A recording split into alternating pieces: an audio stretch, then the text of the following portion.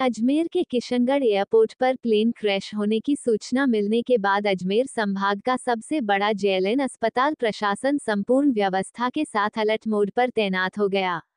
मामले में कुछ देर बाद मालूम हुआ कि यह एयरपोर्ट प्रशासन की ओर से मॉकड्रिल की गई थी, जहाँ बताया गया कि एक प्लेन एयरपोर्ट क्रैश हो गया, जिसमें कई लोगों के हताहत होने की जानकारी मिली और बड़ी संख्या में लोग घायल हुए हैं। जिन्हें जेल इन अस्पताल लाया जा रहा है, इस तरह की सूचना मिलने के बाद अजमेर जेल प्रशासन ने भी अपने व्यवस्थाओं को परखा। इस दौरान अजमेर जेल इन अस्पताल की लगभग सौ से सभासद डॉक्टर नर्सिंग कर्मी और वार्ड बॉय के साथ ही अन्य स्टाफ जेल इन कैजुअल्टी के बाहर जमा हो गया, जिससे कि आने वाले तमाम घायलों को इलाज मिल सके। लेकिन कुछ देर बाद ही पता चला कि यह प्रशासन की ओर से मॉक ड्रिल की गई है, जिसे लेकर सभी ने राहत की सांस ली।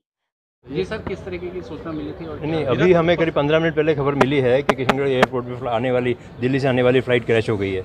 तो पंद्रह मिनट पहले खबर मिली और हम लोग सब लोग यहाँ इस वक्त पूरे उपस्थित हैं। हमारे सारे वार्ड बॉय हैं, सारे नर्सिंग कर्मी और हमारे सारे रेजिडेंट हैं। सबको हमने हॉस्टल से बुला लिया नर्सिंग कर्मियों को, वार्ड बॉय जो इधर उधर ड्यूटी पे थे, उन सबको बुला लिया। तुरंत कैजुअलिटी में सारी व्यवस्था कर ली। कैजुअलिटी के सारे बेड हमने खाली कर दिए। सारी दवाइयाँ जो हमारे पास स्टोर में इधर उधर उपलब्ध थी, उन सबको मंगवा लिया है। ऐसा हमारे पास जो खबर है, करीब करीब सौ यात्री उस एयरपोर्ट में प्लेन में सवार हैं और काफ़ी उसमें हताहत हुए हैं। ऐसा खबर है, हमें पता नहीं सच क्या है। हम इंतज़ार कर रहे हैं, जो भी होगा, हम पूरी सब सेवा करने को तैयार हैं। करीब करीब सवा सौ डॉक्टर्स नर्सिंग नर्मी- नर्सिंग कर्मी और वार्ड बॉय इस वक्त यहाँ उपलब्ध हैं, आप लोग देख सकते हैं इसको। और हम पंद्रह मिनट के अंदर हमारी पूरी तैयारी हो चुकी है।